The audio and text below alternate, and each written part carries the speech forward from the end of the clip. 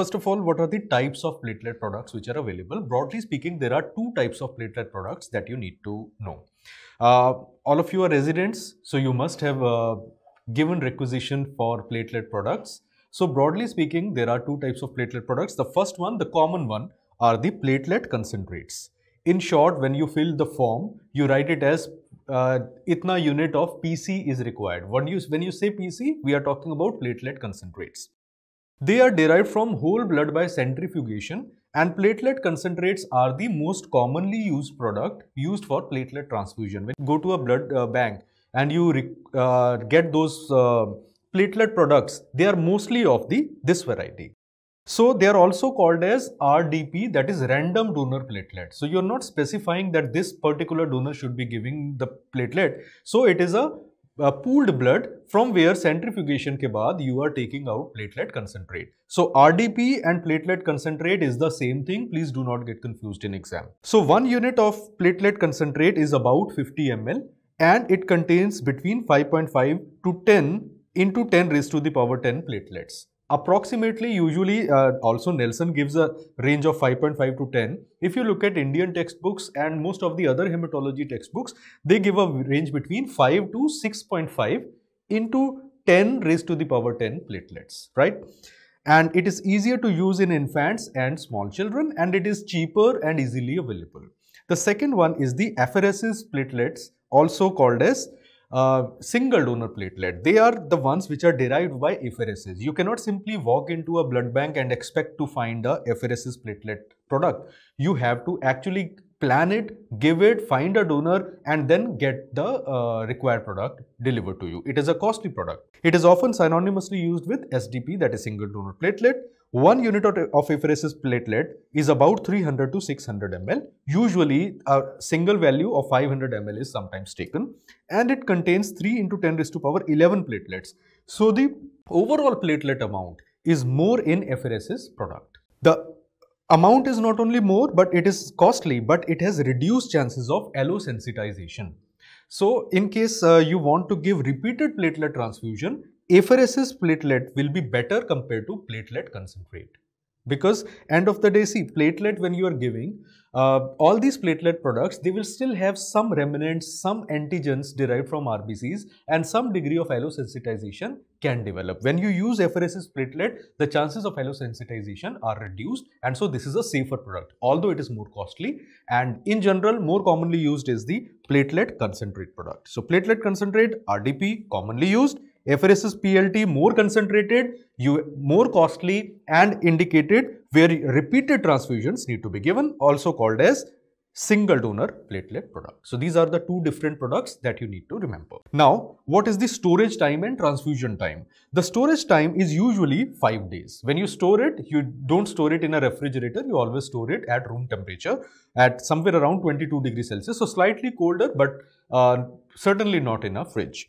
And uh, in case of apheresis products, pro provided strict uh, asepsis is maintained and uh, a temperature agitator is available, you can store up to 7 days. Up to 7 days. But usually if you are asked a single value, the storage time for plated product is, it has to be used within 5 days. The transfusion time, it should be given relatively rapidly it should be transfused within 2 hours but not longer than 4 hours. So, a prolonged platelet transfusion, a common mistake first year residents in pediatrics often make is uh, their seniors have taught them that that all the blood products should be given slowly. So, what they will do is IVIG ka transfusion diya pichle din, it was given over 12 hours. So, what they will do is they will start platelet transfusion and keep the rate, give over 12 hours. Absolutely wrong. It is to be given within 2 hours as a transfusion. And uh, what are the points regarding platelet transfusion which are relevant, which are important, can be asked to you in your various interviews in super special INISS and they can be asked in your NEET SS as well. I have collected from various hematology textbooks.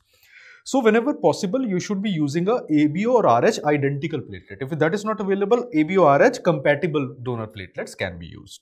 If there is an emergency, you need to give platelet transfusion, but uh, it is a Rh negative patient, but Rh negative product is not available. And you need to give Rh positive platelets. In such patients, you need to also give 250 microgram injection of anti-D globulin to prevent Rh sensitization. It is mandatory, especially if it is a female patient.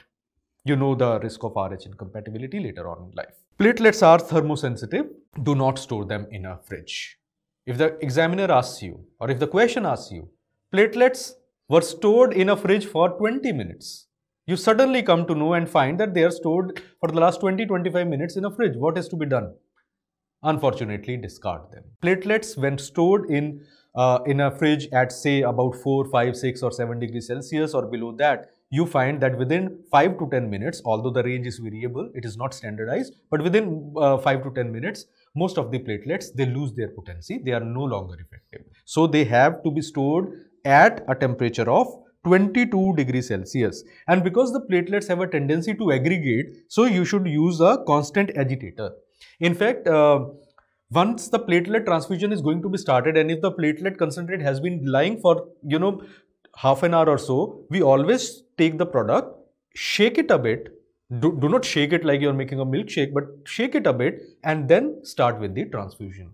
And you should never use a glassware when you are using a platelet product. It should always be a sterile plastic uh, based products, plastic uh, syringes, plastic, you know, uh, glass product वैसे भी it is uh, less commonly used, but ideally you should not be using any glass product it should be coming in contact with the platelet product because platelets have a tendency to adhere to aggregate in response to the glass surface. Now, regarding neonatal platelet transfusion, when I say neonate, I am talking about neonates also, but the same will be applicable for children up to 2 to 3 months also in terms of transfusion.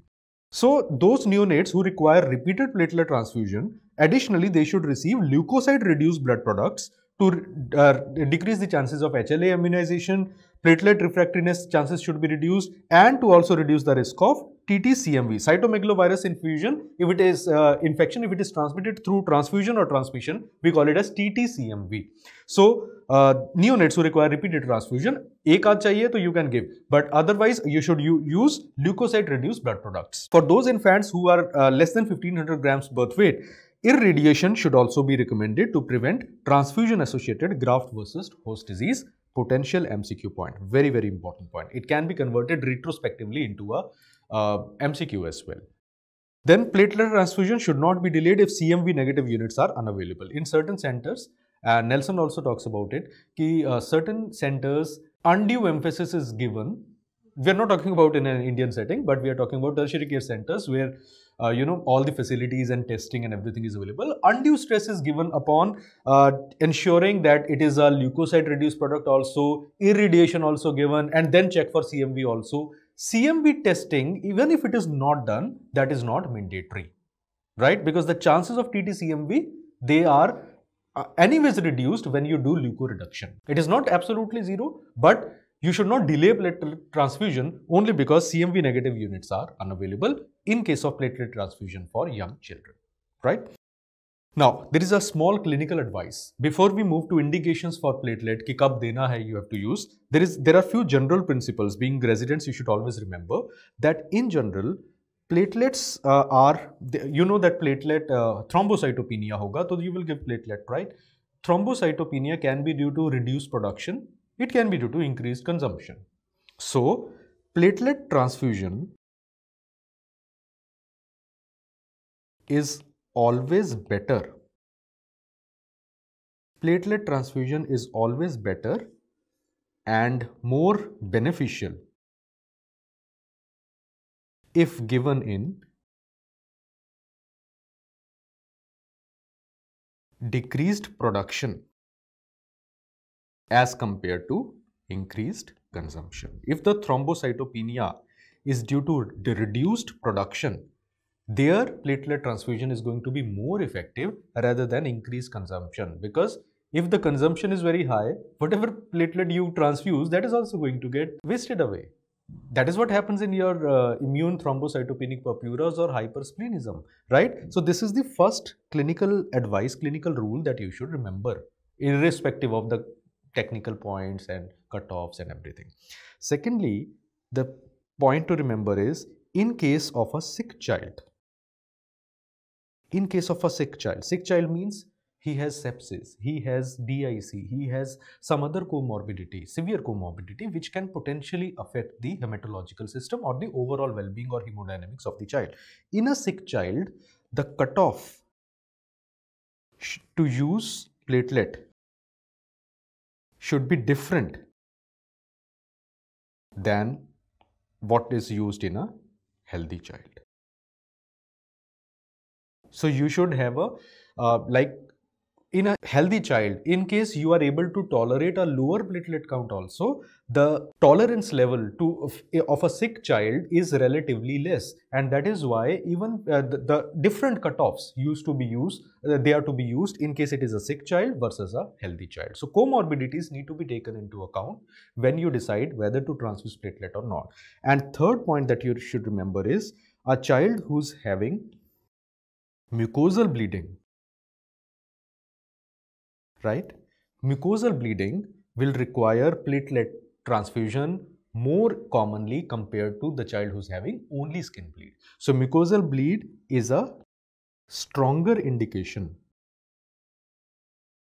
When I say stronger indication, not all mucosal bleeds will require, I am saying relatively compared to only skin bleeds when deciding platelet transfusion. These are general principles, right? These three important points, uh, general principles mentioned in standard books, so they will be helpful for you later in your life as well, because uh, uh, once you go into your uh, super specialty, you become a practicing pediatrician, su practicing super specialist, cutoffs you will not remember. You will only remember what you do on a daily basis. So these practical points will still be important in case uh, you are, uh, you know, directly not dealing with hematology, but still you want to go in for considering when to give platelet transfusion. These principles will always come handy. Subscribe and press the bell icon so you never miss an update from PrepLadder.